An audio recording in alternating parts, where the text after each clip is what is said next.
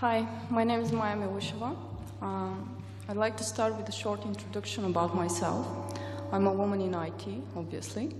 I'm a CEO of a quite profitable IT company. I'm a mother as well, so you would say I went through quite a lot in the IT industry. So I have the experience and authority to talk about this topic. Now, what I want to say is that the whole talk about women in IT is usually a bad thing for us. Uh, because basically what it says is, well, it's okay to have lower income, it's okay to do uh, worse than boys in the IT industry because, well, there's a world conspiracy against you, you know, people hate you, that's why. So that's why I'm against the whole talk. Also, I did some recruiting because I have a company. Uh, and also, I went to a school that had like eight girls and 100 boys.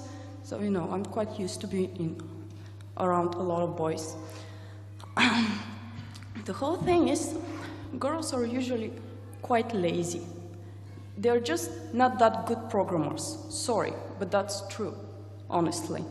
Uh, they just don't want to get their hands dirty to do the job. And um, when I tried to do some recruiting, I intentionally wanted to recruit women.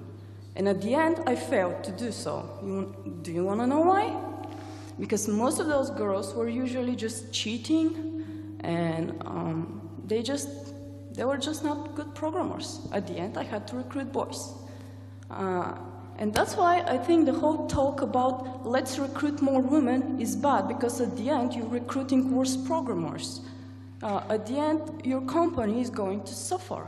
You're going to lose some money. I know it's trendy to talk about women in IT, but I think women should just start studying more and getting the job done.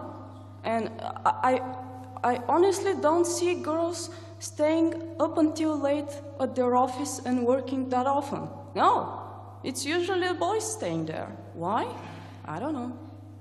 So that's what I want to say. Uh, I think the whole lecture should be removed, and I think it's just bullshit.